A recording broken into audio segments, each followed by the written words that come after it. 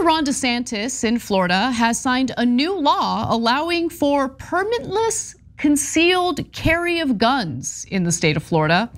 The closed door event, where he, of course, signed this into law, uh, included only NRA and pro gun lobbyists in the room.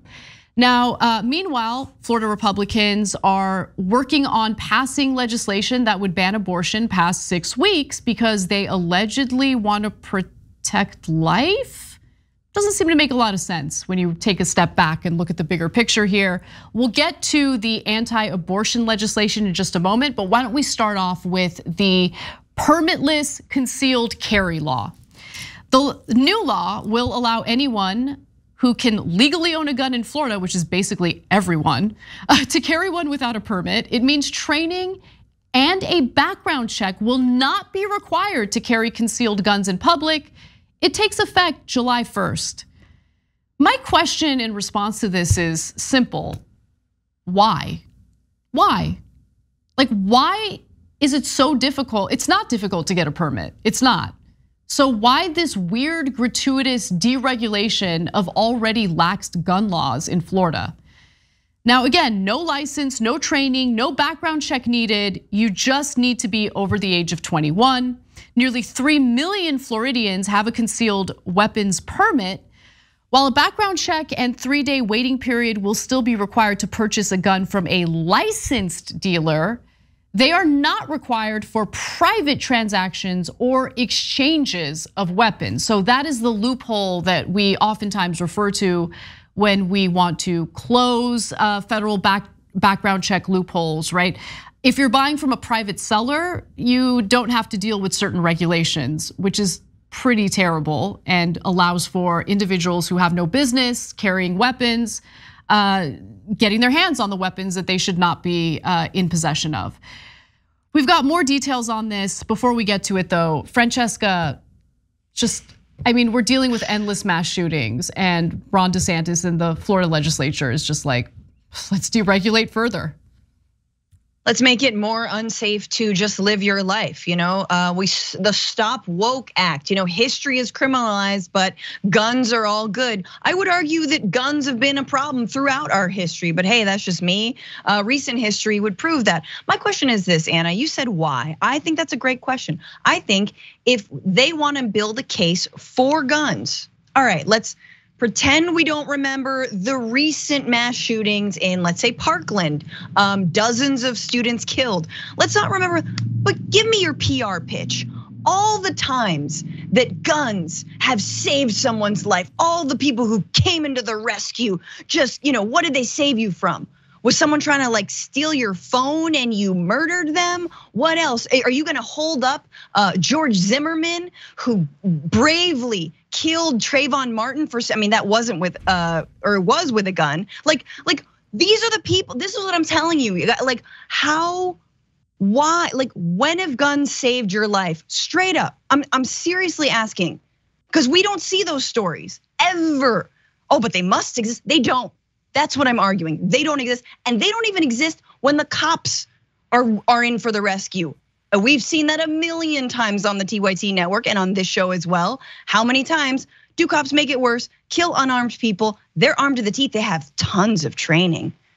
And they're gonna be even less safe now with this law. So please tell me, show me all the heroic man saves small child with gun. I don't see those stories because they don't exist. You know, the thing that's just frustrating to me is why is it so difficult to, I mean, they had a system in place to get the permit if you want to conceal carry in Florida, and no one was complaining about it. This just came out of nowhere, right? Because this is all Republican lawmakers have, right? It's always stuff like this. Anything to make it appear as though they're working real hard for your best interest, when in reality, really, we, we, we want to get rid of the training requirements, the permit requirements for concealed carry in public. But why? It's not difficult to obtain a gun in Florida. I know people who have like an entire freaking arsenal or room dedicated to guns. The permit process was not laborious, it was not difficult, it was not challenging. No one asked for this. In fact, why don't we get to some details on, on what this actually means and how this could um, really increase gun violence in Florida? There is some data um, to, to get to. So, first of all, Ron DeSantis, in, in a statement about this legislation, said, you don't need a permission slip from the government to be able to exercise your constitutional rights. Okay. Yeah, we're talking about something that can kill others and a permit is not some difficult thing to undergo or to obtain in order to buy a weapon of death. Okay, but okay, fine. Uh, that, that's his point of view. Former Democratic Representative Debbie um, Mucarsel Power, or Powell, I should say, uh, pointed out uh, this concerning fact. Between 2021 and 2022, more than 7,000 Florida residents had a disqualified history they were denied to carry a concealed weapon, but now the Florida legislature wants to strip away these important provisions. So, since they had that permit process in place, over a one year period, 7,000 Florida residents did not qualify for the gun purchase, or at least uh, carrying the gun, uh, a concealed weapon publicly.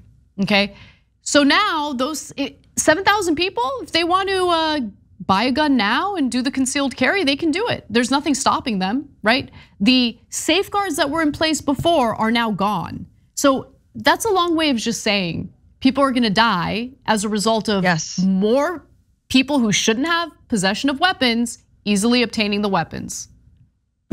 Because what do the background checks see? They see, oh, you have a history of domestic violence.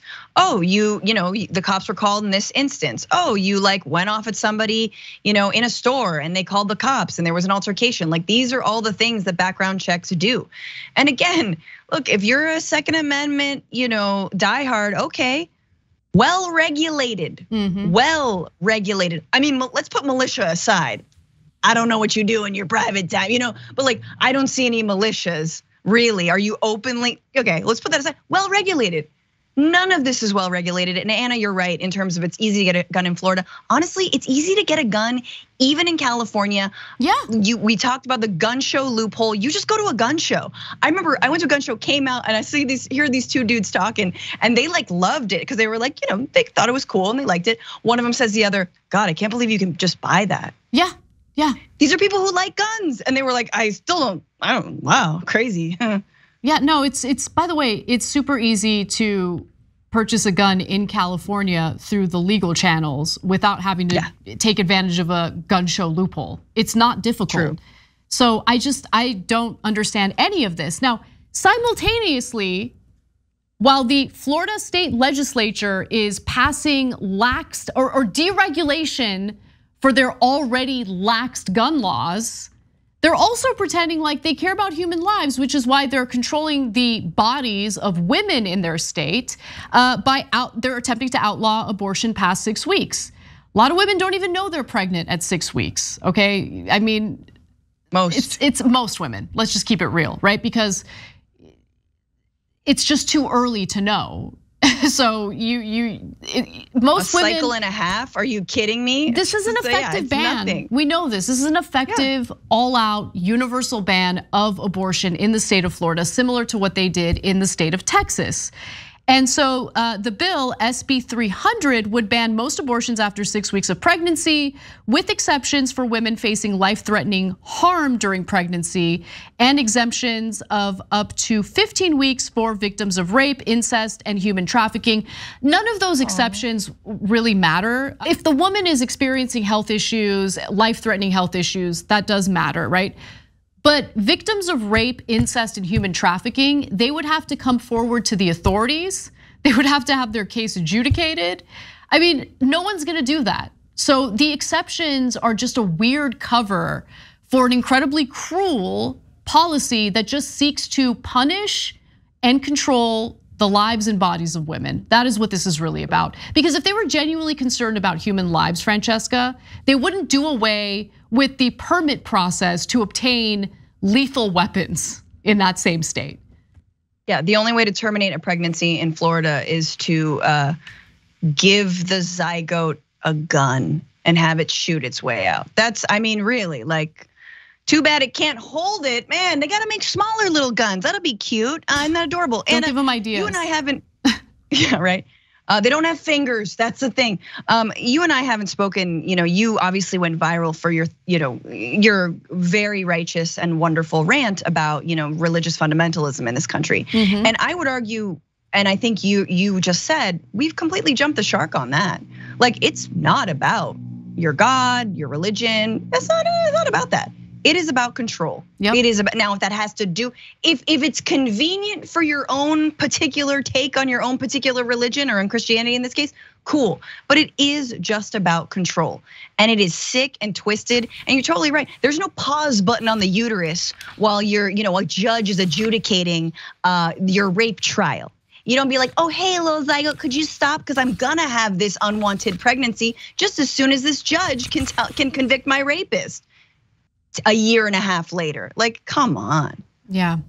Well, uh, the update on that bill uh, is, you know, the measure was approved 26 to 13, but it's it must pass the state House uh, before heading to uh, Governor Ron DeSantis's desk to be signed. So while the uh, laxed gun law did in fact pass and has been signed by Ron DeSantis, this anti-abortion bill still needs to pass the state house. But with the supermajority that Republicans enjoy in the state of Texas, I have no doubt that this is going to get through. Thanks for watching the Young Turks. Really appreciate it. Another way to show support is through YouTube memberships.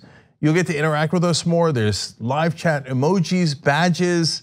You've got emojis of me, Anna, John, JR. So those are super fun. But you also get playback of our exclusive member only shows and specials right after they air. So all that, all you gotta do is click that join button right underneath the video. Thank you.